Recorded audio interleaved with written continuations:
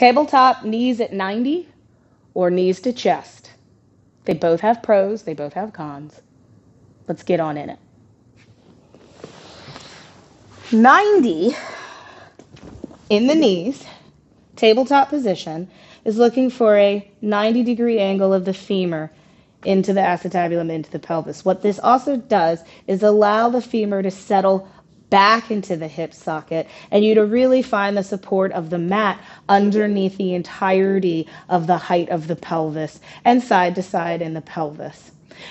With that comes immediately this engagement of abdominals and back abs, as I call them, because it's all core, right?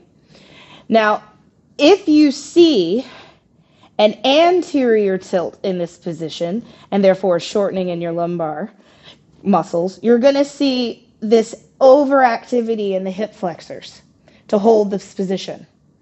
Now, this is a dangerous place to move from because now I'm really going to have trouble ant- activating my extensor system if I want to go to a single leg stretch. And the weight of my leg and increasing lever is pulling on my back in a way that is causing, sorry, I got to shake that out, causing all of my lumbar muscles to shorten and tighten. And it's making it very difficult to have any support from my front body to meet it because the signal is hip flexor got it all, right? Which is therefore causing my psoas as it acts on my spine to shorten and grip. That's going to change the abdominal pressure. It's going to make breathing difficult.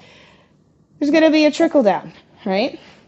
So you're looking in that 90 tabletop to see that they are actually achieving the strength and stability in the spine that this position is supposed to create. It's a wonderful position for that because you're either doing it and you're in it or you're not, right? Now, knees to chest. I very much believe that every exercise should have a beginning position and an end position, that the work should be in the through, in the middle. For me, 90 is a working position, right? It takes a lot of work to be here.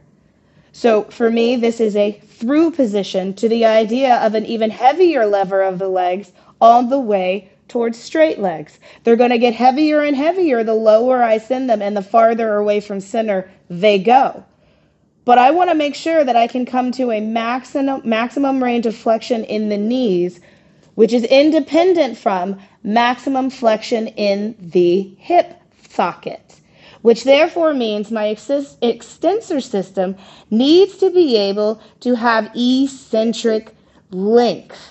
Now, here's where you have to be careful. That the lumbar spine has enough support to choose to stay in the position you choose. If I'm choosing a neutral range of pelvis, meaning pelvis is doing its best to have the core work of front, back, and side body support the position of the pelvis in relationship to the rib cage and vice versa, right? That's what my definition of neutral range is, okay? So when coming through my tabletop, to come to a starting position of knees to chest, I have to have enough integration to sustain the position of my lumbar spine and truly make hip flexion happen. I'm not going to pull on my knees, which is what so many people want to do, pull and therefore drop into their low backs, which is actually overstretching the muscles of my lumbar and using my hip flexors in an action to drop weight back into my lumbar. This is not a position I want to launch out of. This is not a position I want to press out to straight legs right? If I get stuck in this position, I need to know that I need to go through that tabletop. I need to get to that place of neutral. If I'm going to go 90 higher, if I'm going to go lower, depends on the challenge. But to be able to come into full hip flexion shows me whether or not that spine has enough integrity to allow for deep flexion in the hips and knees without having to compromise all other parts of the spine to do so. Working tabletop can help give you that strength. But working tabletop slow, alone and all the time isn't going to give you that deep flexion you need for a healthy hip. And if you haven't been working knees to chest, I'm going to show you why it's so important uh, in your stomach massage. If you hate stomach massage, you're not alone. Okay? A lot of people have a lot of problems with their hip flexors in this exercise. The exercise is supposed to strengthen your hip flexors, but also increase their mobility.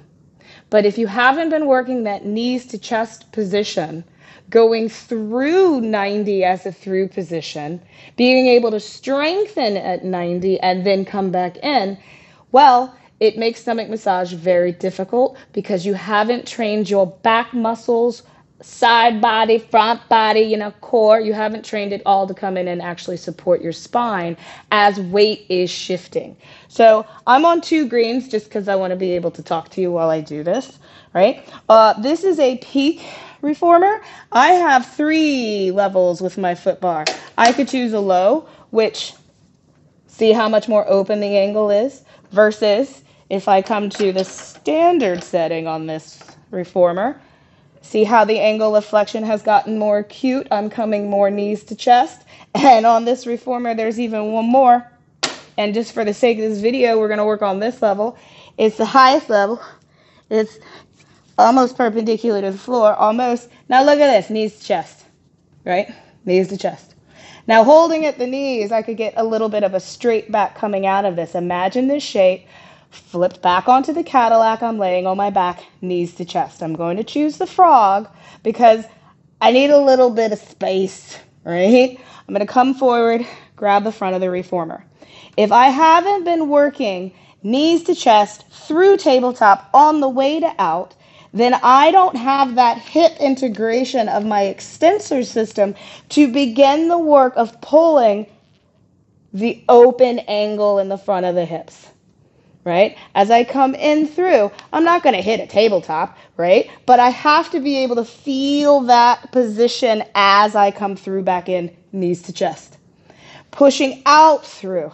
I sometimes will have people stop in the middle of the spring so that they actually feel the push and reach. This is more of an open hip. So as I come in, I'm coming into active flexion. And if I've been working that tabletop to knees to chest position, I know that I need to pull the weight of the spring up with me versus allow my low back to give in to the weight of the spring and give in to the weight of gravity.